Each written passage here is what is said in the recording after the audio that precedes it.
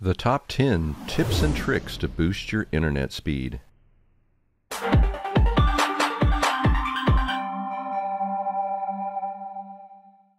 Your internet connectivity is more than just the bandwidth provided by your ISP. It's impacted by your network adapters, wireless router settings, browser, hard drive, operating system, and a host of other items. Here are the top 10 tips and tricks to boost your internet speed right from your computer.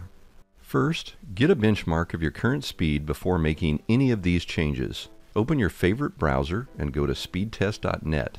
Click Go and let it run through the speed test. Capture the final numbers for your download, upload, and ping results. It's more accurate to run this a few times to get an average. Now, let's improve your internet speed.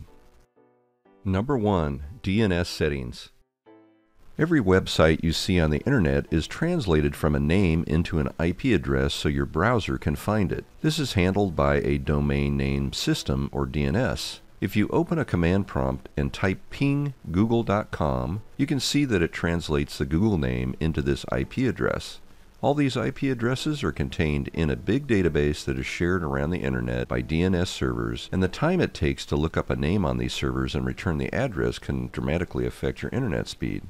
Your ISP generally provides you with their own DNS server, and you can see what that is by typing ipconfig slash all.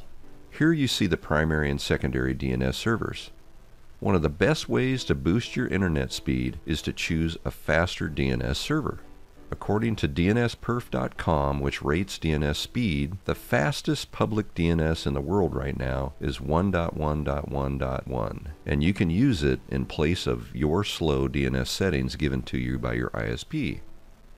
To change the DNS settings on your computer, come down here to the taskbar and right click on your network connection.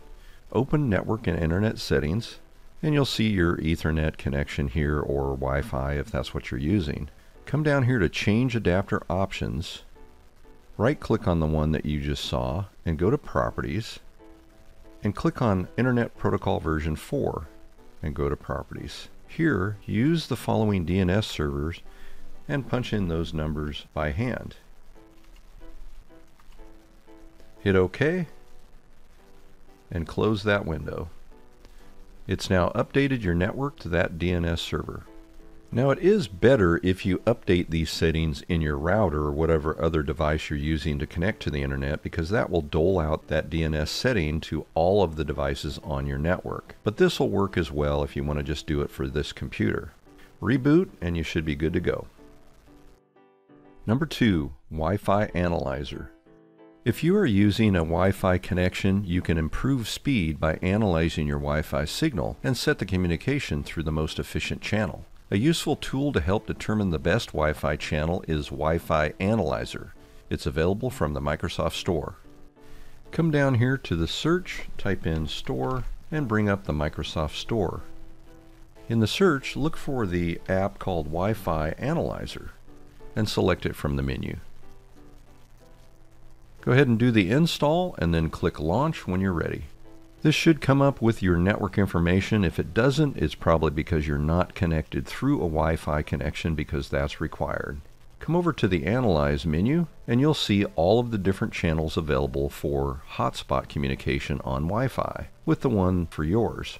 Down here, you'll see the recommendation of which channel you should be on for the most efficient communication, and it will change over time depending on the activity going on around you. If you come down here to view, you can turn on the SSID and see the names of all of these different hotspots nearby. Now I'm showing the 2.4 gigahertz connection right here, but you can change this to 5 gigahertz if that's what your Wi-Fi connection is running on, and you'll see those items as well. The key with this is you want to select a channel that's recommended that would be the most efficient for communication for your Wi-Fi. And you'll need to find where to change this in your router. And in my case, there's an option right here to change the Wi-Fi channel to whatever number I want, or leave it auto. But just be aware, by making these slight adjustments, you'll see improvements in speed by using the correct Wi-Fi channel. Number 3. Update network drivers. The software drivers you have installed for your network adapters can also have an impact on the performance of your internet connection. So let's come down here and right click and open the network and internet settings.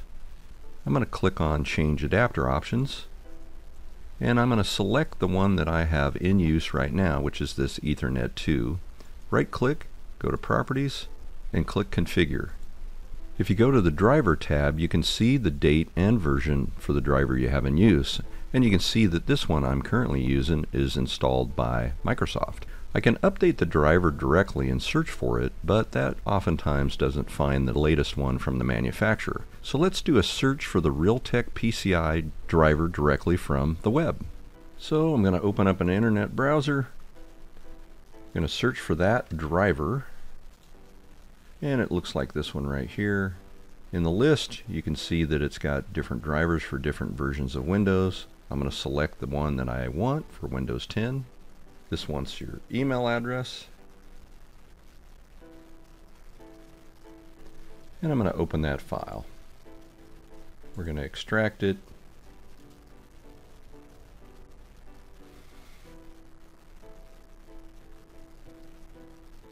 And in this case, we just need to run the setup exe. I'm going to go ahead and do a repair and you can see the new version that's being installed is 10. And we'll finish that.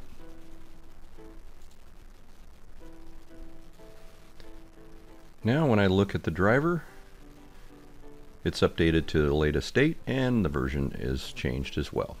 With the simple reboot, you'll be running on the new network adapter driver software. Now you may want to do the same thing for any other adapters that you have installed as well, just to make sure they're all updated to the latest versions. It's always a good idea to stay with the current and correct driver to get the best speed out of your internet connection. Number 4. TCP Optimizer. Another great tool is TCP Optimizer 4, which helps you optimize the settings on your network adapter. Open a browser and go to speedguide.net and click on this TCP Optimizer button and download the latest version. Now click and find that folder file, right click and run it as administrator.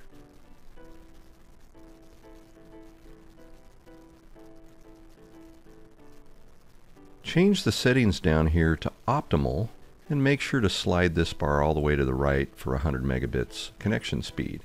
You can also check the other network adapters that you have and do the same thing. Or check this box and it'll do all the network adapters at once. When you're done, apply the changes and you can see the old values and new values and hit OK. It'll prompt to do a reboot, but you can wait and do that at any point. Just remember you can go back to the Windows defaults and apply those changes if you want to revert back to the old settings. You'll also see that it created a backup copy of your original settings. When you're ready, go ahead and reboot your computer and you'll have the most optimal settings for internet speed. Number 5. Delivery Optimization. Recent versions of Windows 10 has an interesting new feature called Delivery Optimization. You can find it by going down to the search and typing it in. Select Delivery Optimization Settings from the menu and it opens up this window. You can see right here it says if you turn this on, your PC may send parts of previously downloaded Windows updates and apps to PCs on your local network or on the internet. What this means is you're sending data from your computer through your internet connection to other computers on the internet. And that's going to use bandwidth for your internet connection. So I recommend turning this off.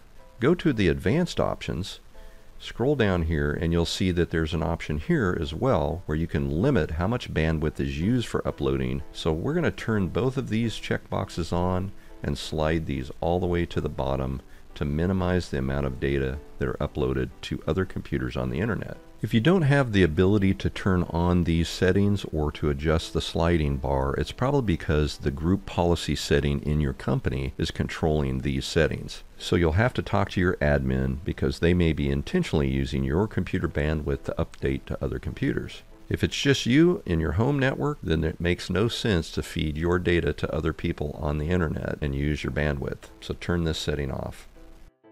Number 6. Clear browsing data. Your favorite internet browser might be causing slowness with your internet connection as well. Come down here to Microsoft Edge, for example. Click on Settings and go to Privacy Search and Services. Scroll down here and you have an option to clear your browsing data. Select choose what to clear and you can see that there's all kinds of browsing history, download history, cookies, cached images, and a variety of other things stored. You can select the amount of time frame that you want to clear this data. So I'm going to leave it on all time.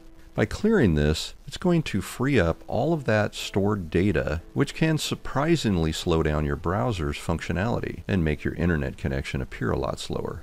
For Chrome, you'll find this under Settings, Privacy and Security, Clear Browsing Data. And you have the same option to choose all time and to clear your browsing history and cookies and other data. So I recommend you do this in any browser that you're using for internet access to help clear that space and make it run more efficiently.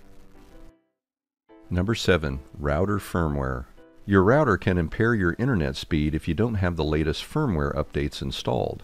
As manufacturers find bugs and improve performance with their software, they post updates that can be installed on these devices. For example, my router has an option to manually flash the firmware in the menu, and you can use a file downloaded from the manufacturer's website. It also has an option to do a remote update directly and shows that a new version is available for install. If you have never done a firmware update or it has been a very long time, you could be missing out on dramatic improvements to the performance of your router and as a result, improvements to your internet speed. Number 8. Flush DNS. Even though the DNS settings we changed earlier can improve the time to look up IP addresses on the internet, Windows also stores the DNS entries for sites you visited in the past. This data is stored locally, and it's good to clear this data out on occasion. You can flush the DNS by going to a command prompt, type ipconfig forward slash flush DNS, and hit enter. That's all it takes. Number 9. Use SSD. When you browse the internet, passwords, history logs, cookies, cached images, and other data is recorded on your local hard drive, and the disk I.O. can have a significant impact to the speed of your browser as you navigate from one page to the next. It is especially true if you have a slow hard drive like what many older computers contain. A solid state drive can make a huge difference. Consider upgrading your older computer to SSD it not only improves the performance of Windows 10, but can improve the performance of your internet browsing as well. Number 10. Call your ISP. The final suggestion to boost your internet speed may be the easiest of all. Call your ISP and complain about the slow internet speed. You may be surprised. Many ISPs throttle data to balance bandwidth usage between their many customers or have increased bandwidth in your area but have not adjusted your settings to give you access to it yet. By simply calling them and asking, you may find that you can boost your internet speed significantly without paying extra. That's the top 10 tips and tricks to boost your internet speed. Now go to speedtest.net and see if you have an increase from your earlier benchmark. If you do, please take a moment right now to post a comment in the description below this video and let everyone know how much of a boost you got. I hope these tips and tricks work for you. Hey, if you want to see more videos like this one, please subscribe. And if you've enjoyed this video, be sure to click the thumbs up and leave a comment. I really do appreciate your support.